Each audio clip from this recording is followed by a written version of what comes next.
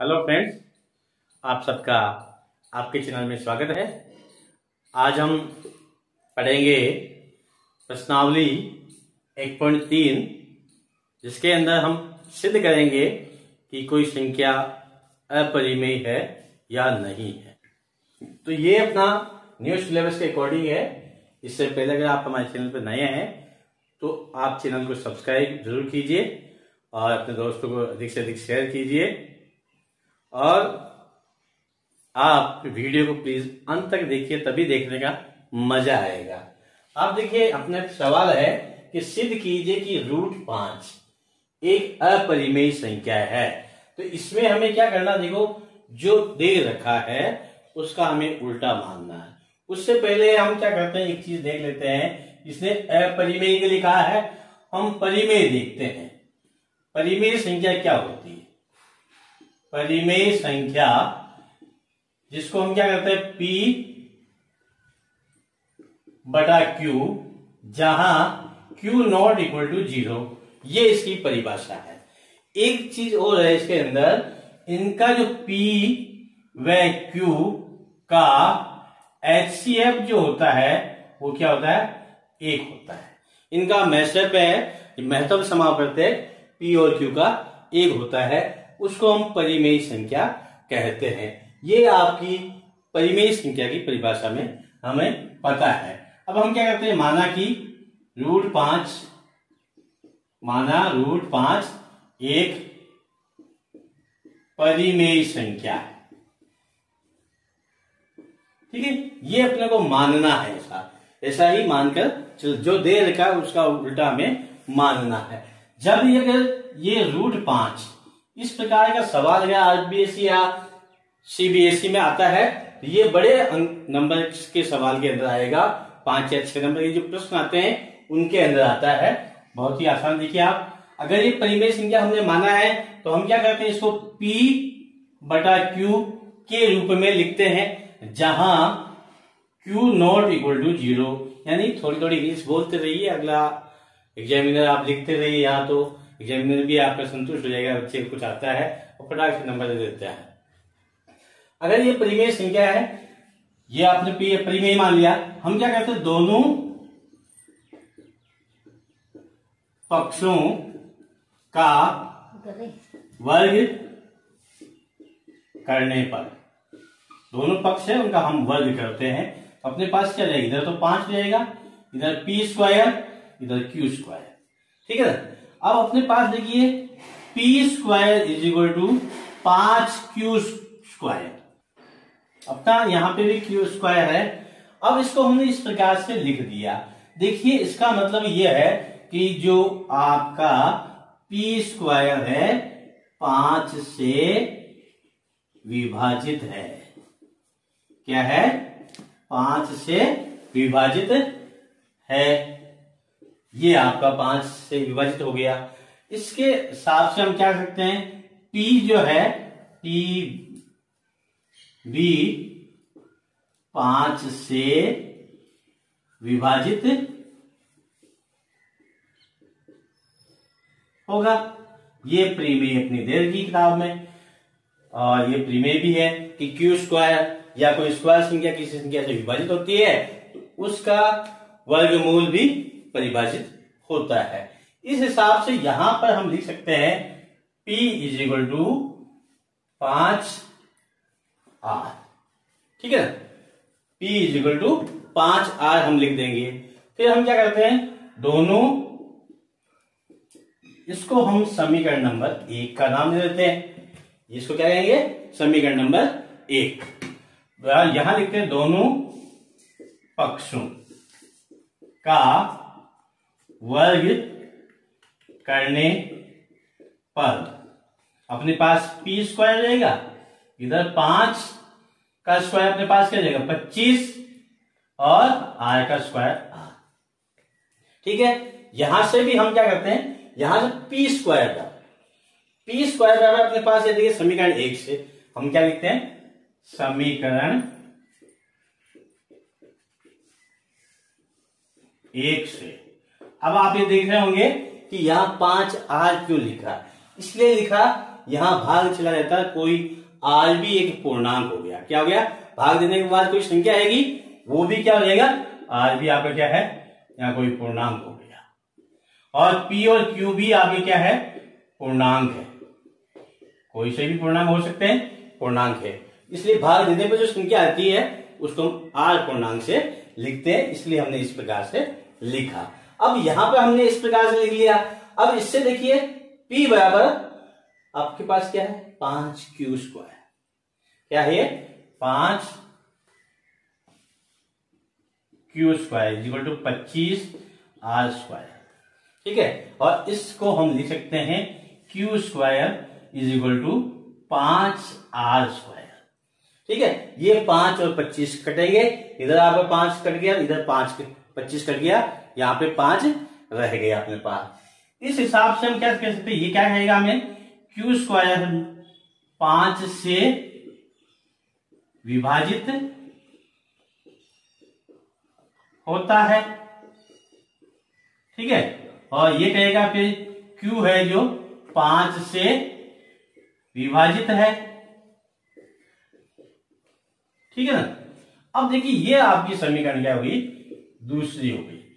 एक और दो से देखिए, समीकरण एक पाँच से विभाजित पी और क्यू भी पाँच से विभाजित है।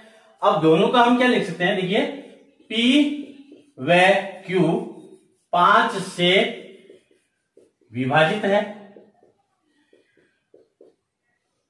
यानी इसका एचसीएफ क्या हो गया? मैं सर पे क्या हो गया? पाँच से विभाजित तो पाँच हो गया।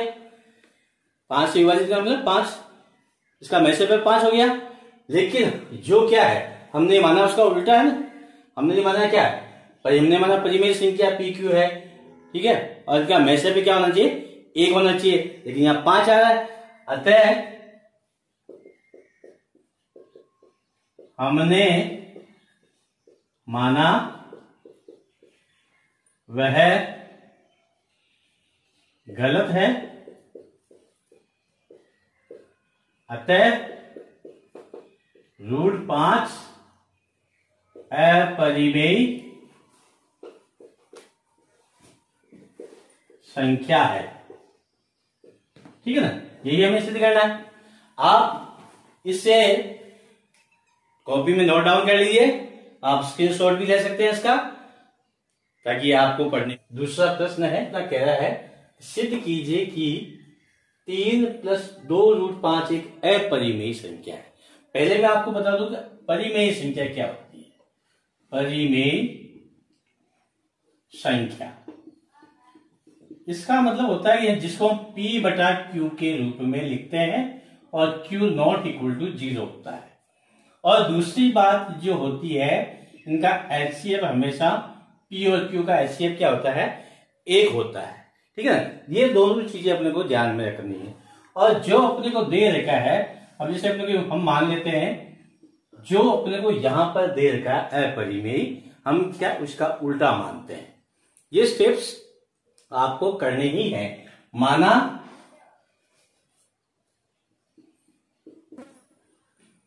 तीन प्लस दो अंडर रूट पाँच। एक परिमेय संख्या ठीक है दोस्त? क्या है ये? परिमेय संख्या हमने इसको मान लिया है। तब हम क्या लिख सकते हैं इसको? P तीन है ये, तीन प्लस दो अंडर रूट पाँच बराबर P बटा Q के रूप में हम लिखेंगे, जहाँ Q not equal to zero होगा अपना। ठीक है ना? अब हम क्या करते हैं इसको? उधर पक्षांतरण करते हैं। ये तीन है, तीन को हम पक्षांतरण करेंगे। पक्षांतरण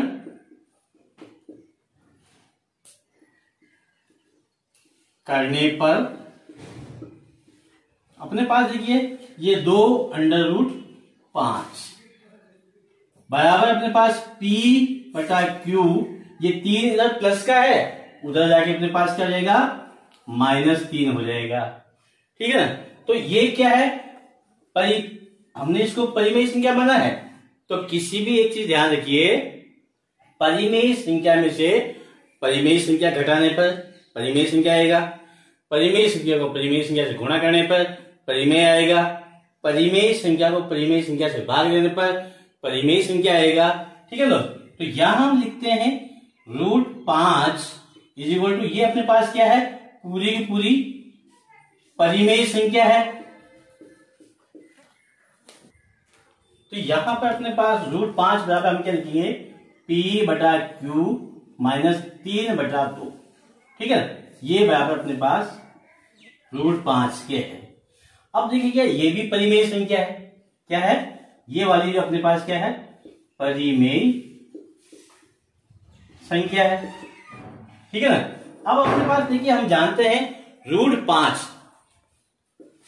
रूट पाँच एक अपरिमेय संख्या है। ठीक है ना? अपरिमेय संख्या है ये रूट पाँच। ये आप जो प्रश्न नंबर एक करेंगे, उसमें हम सिद्ध कर चुके हैं। आप पिछले वीडियो में देखें कि रूट पाँच एक अपरिमेय संख्या है। तो इस हिसाब से हम क्या लिखते हैं? रूट पाँच इज़ इक्वल टू पी बटा क्यू माइनस तीन बटा दो। ये आपकी अपरिमेय? लेकिन ये क्या है परिमेय क्या दोनों बराबर हो सकती है? नहीं हो सकती है? तो हम क्या लिखेंगे यहाँ पर? अतः हमने माना, या भी हम लिखते हैं, हमने माना, या हम लिखते हैं, हमारी अवधारणा। अतः हमारी अवधारणा। क्या है? अवधारणा यहाँ माने कि माना तीन प्लस दो रूट पाँच एक परिमेय संख्या है। हमारी अवधारणा गलत है। ठीक है? लेकिन यह गलत सिद्ध हो गया। तो अतः हम यहाँ लिख सकते हैं कि आपका तीन प्लस दो अंडर रूट पाँच एक अपरिमेय संख्या है। ठीक है? ये ये आपका सिद्ध हो गया। अगर का तीसरा क्वेश्चन है कि सिद्ध कीजिए कि निम्नलिखित संख्याएँ अपरिमेय है। उससे पहले मैं आपको कुछ बताना चाहता हूँ कि देखिए अपने पास क्या है, कोई भी परिमेय संख्या क्या है? परिमेय संख्या। हम P बटा Q के रूप में लिखते हैं। केवल और इसका व्युतक्रम अगर हम लिखते हैं, व्युतक्रम तो यहाँ पे क्या है? P और Q पूर्णांक है आपके, और Q not equal to zero ये है अपना। तब हम इसको परिमेय संख्या कहते हैं। इसका व्युतक्रम करेंगे तो अपने पास Q बटा P हो जाएगा। क्या रहेगा? P बट, Q बटा P किसी भी परिमेय संख्या होती है, उसका उल्टा भी हमेशा परिमेय संख्या ही होता है, सिवाय एक के ज़ीरो के। ये ज़ीरो बटा एक एक परिमेय संख्या है। ये परिमेय संख्या है, ये परिमेय है। जबकि इसका व्युत्क्रम एक बटा ज़ीरो परिमेय नहीं है और ये अपरिभाषित है। मैंने सवाल करने से पहले ये क्यों बताया? वो भी हम सवाल करते हैं, उसमें मालूम चल जाएगा आपको। जैसे आपका पहला क्वेश्चन देखा है one upon hundred the root two ठीक है ना? तो अब हम क्या करते हैं, ये आपका, इसको हमें अपरिमेय सिद्ध करना है। ठीक है? तो हम इसको पहले मान लेते हैं, माना एक बटा अंडर रूट दो परिमेय संख्या है। ठीक है ना? तब हम यहाँ पे क्या लिखते हैं, एक बटा अंडर रूट दो पी बटा क्यू कोई पूर्णांक होंगे, जहाँ क्यू आपका नॉट इक्वल टू ज़ीरो होगा। कोई ना कोई पूर्णांक है आपका। इसको इस प्रकार से हम इसको लिख सकते हैं। अब हम क्या करते हैं, इसका व्युतक्रम कर देते हैं। व्युतक्रम किया, व्युतक्रम करने पर। व्युतक्रम करेंगे तो अपने पास दो बटा एक बराबर क्यू बटा पी ये भी क्या है आपकी? इसका व्युतक्रम लिख दिया हमने, इसका उल्टा किया। और ये आपके पास क्या है? ये परिमेय संख्या है। अब एक चीज़ सामने आती है हम जानते हैं, इसको हम यह क्या लिखते हैं? देखिए अपना, कि रूट दो बराबर क्यू बटा पी, ठीक है ना? लेकिन रूट दो क्या है? अपरिमेय संख्या। रूट दो है जो अपरिमेय संख्या है। तो परिमेय संख्या, अपरिमेय संख्या बराबर नहीं हो सकती। ये दोनों बराबर नहीं हो सकते। तो हम क्या लिखेंगे? अतः अंडर एक बटा अंडर रूट दो, एक अपरिमेय संख्या है। ठीक है दोस्तों? अब इसका जैसे कि दूसरा क्वेश्चन है जो, अपना जो दूसरा प्रश्न है, इसी का सात अंडर रूट पाँच। सबके अंदर जिसे हम मानते हैं, अब यहाँ पे भी मानेंगे, माना सात अंडर रूट पाँच एक परिमेय संख्या है। ठीक है? अब हम इसको इस प्रकार से लिख सकते हैं, P बटा क्यू जहाँ P और Q पूर्णांक है और Q not equal to zero है। ये हम यहाँ पे लिखेंगे। अब इसके बाद लिखने के बाद अपने पास क्या है? ये रूट पाँच इज़ इक्वल टू पी बटा ये सात जो है, यहाँ नीचे गुणा में चला जाएगा तो सात क्यू हो जाएगा। ठीक है ना? ये आपका क्या परिमेय है। ये क्या है आपका? परिमेय। हमने माना पी बटा क्यू जो परिमेय संख्या होती है पी बटा क्यू के रूप में होती है। तो सात पी बटा सात क्यू परिमेय है जबकि रूट पाँच क्या है? एक अपरिमेय संख्या यहाँ रूट पाँच क्या है? अपरिमेय संख्या है। अतः रूट पाँच और पी बटा सात क्यू कभी बराबर नहीं हो सकते। क्यों? कि ये तो परिमेय और परिमेय और अपरिमेय कभी बराबर नहीं हो सकती है। हम जानते हैं रूट पाँच अपरिमेय है। अतः हम लिखते हैं, सात रूट पाँच भी अपरिमेय संख्या है। ठीक है ना? इसी प्रकार हम तीसरा सवाल देख लेते हैं। तीसरे सवाल में भी क्या है? ये क्या है? जैसे छ प्लस अंडर रूट दो। बराबर ये हम इसको परिमेय संख्या के रूप में मान लेते हैं। तो परिमेय में मानने पर हमारे पास क्या? पी बटा क्यू के रूप में संख्या को हम लिख सकते हैं। लिखने के बाद अपने पास क्या? इधर छ है। छ को हम क्या करते हैं? छ का पक्षांतरण करने पर। ठीक है? तो अपने पास under the root P minus Q minus है। ठीक है? ये आपके पास क्या हो जाएगा? पूरी पूरी परिमेय संख्या हो गई है। ये भी परिमेय संख्या? जबकि हम जानते हैं, जबकि हम जानते हैं कि अंडर रूट दो एक अपरिमेय संख्या है अतः अंडर दी रूट दो पी बटा क्यू माइनस छ कभी बराबर नहीं हो सकते कभी बराबर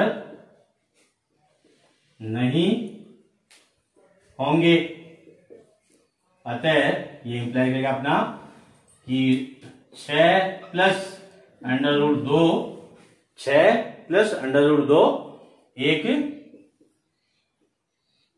अपरिमेय संख्या है। ठीक है दोस्त? ये अपने पहले सवाल के तीनों ही सवाल हो गए। अगर आप हमारे चैनल पर नए हैं तो हमारे चैनल को सब्सक्राइब ज़रूर कीजिए। अपने अधिक से अधिक दोस्तों को शेयर कीजिए और आप नोटबुक में इसको साथ साथ में नोट करते जाइए ताकि आपकी प्रैक्टिस अच्छी बन जाए। आप इसका स्क्रीनशॉट भी ले सकते हैं और वीडियो को अधिक से अधिक शेयर कीजिए। फिर मिलेंगे अगले वीडियो में। तब तक के लिए जय हिंद, जय भारत।